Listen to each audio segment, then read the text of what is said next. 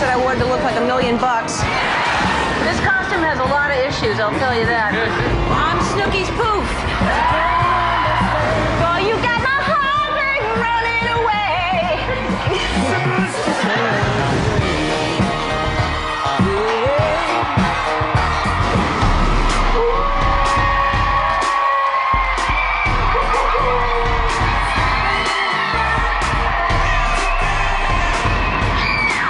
She is now, Ellen DeGeneres.